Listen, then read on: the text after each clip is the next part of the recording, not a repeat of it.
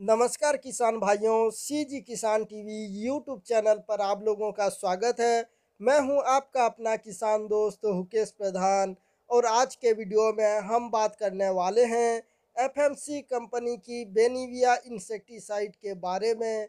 संपूर्ण जानकारी बताने वाले हैं आप लोगों को बेनिविया इंसेक्टिसाइड की क्रॉप स्प्रे के बारे में, इंसेक्ट टारगेट के बारे में, केमिकल एंड फार्मूलेशन के बारे में इसकी मोड ऑफ़ एक्शन यानी कार्य करने का तरीका क्या है? इसकी रिकमेंडेड डोज क्या है? इसकी पैकिंग एंड प्राइस क्या है? इसका रिज़ल्ट टाइम या रेसिडियल एक्टिविटी कितने दिनों का होता है? इसका रैन फास्ट नेट क्या है?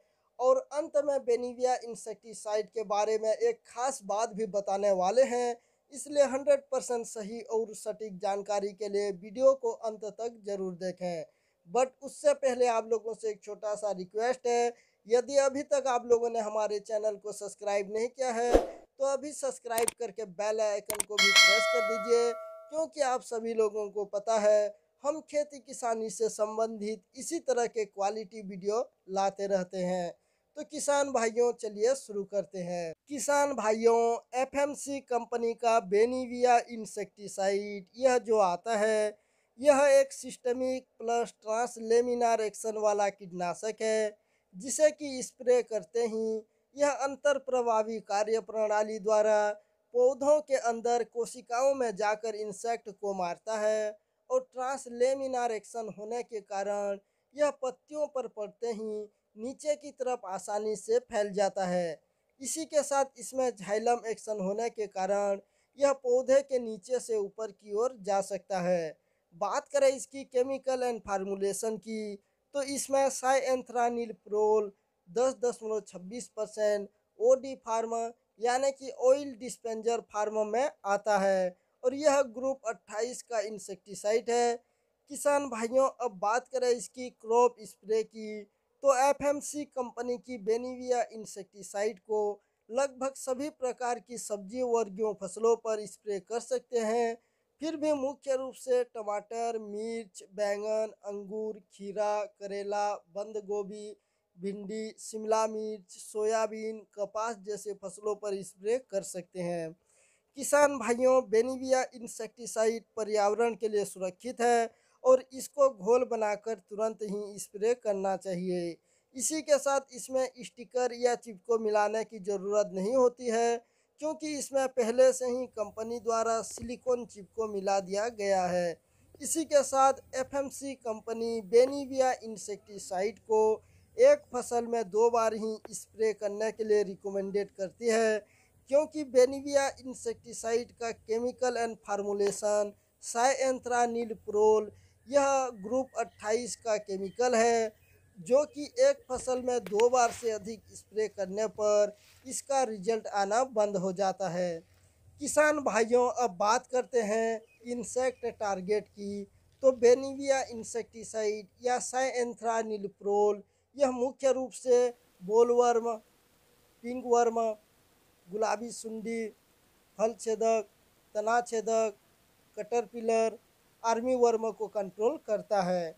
इसी के साथ aphid jassid thrips leaf hopper को भी कंट्रोल करता है। कहने का मतलब यह है कि बेनिविया इंसेक्टिसाइड एक साथ चबाने और चूसने वाले कीटों को प्रभावी ढंग से नियंत्रण करता है।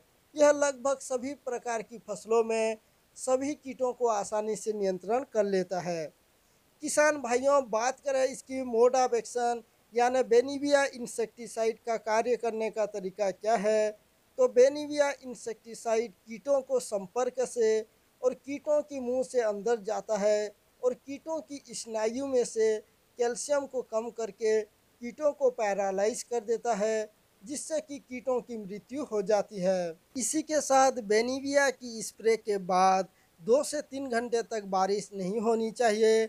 मतलब कि बेनिविया इंसेक्टिसाइड का रेन फास्टनेस दो घंटे का है यदि आप बेनिविया इंसेक्टिसाइड को स्प्रे करते हैं, स्प्रे करने के बाद दो से तीन घंटे के बाद बारिश होती है तो फिर भी आपको बेनिविया इंसेक्टिसाइड का हंड्रेड परसेंट रिज़ल्ट मिलेगा।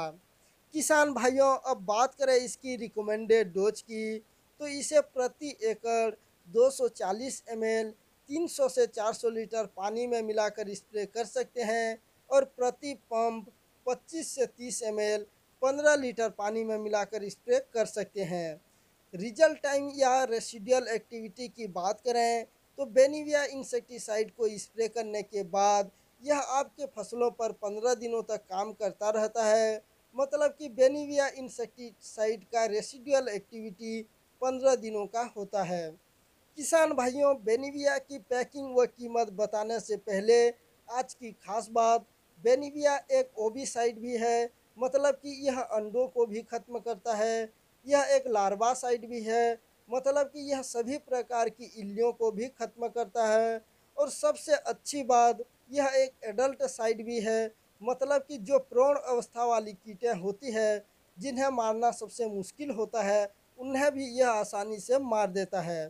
तो किसान भाइयों, जानकारी अच्छी लगी तो वीडियो को लाइक कीजिए, शेयर कीजिए, चैनल पर नए हैं तो सब्सक्राइब कीजिए। अब बात करते हैं इसकी पैकिंग व कीमत की। तो यह आपको 90 एम एल, एक सौ अस्सी एम एल, दो सौ चालीस एम एल के पैकिंग में मिल जाएगा। वही इसकी कीमत की बात करें तो नब्बे एम एल, नौ सौ दस रुपया, एक सौ अस्सी एम एल, एक हज़ार सात सौ पच्चीस रुपये और दो सौ चालीस एम एल का जो पैकिंग है, यह बाईस सौ रुपये के समथिंग में मिल जाता है। इसकी कीमत पर अलग अलग राज्यों पर पाँच परसेंट तक कम या ज़्यादा हो सकती है। यह आपके तरफ़ कितने प्राइस पर अवेलेबल है, हमें कमेंट बॉक्स पर ज़रूर बताएगा।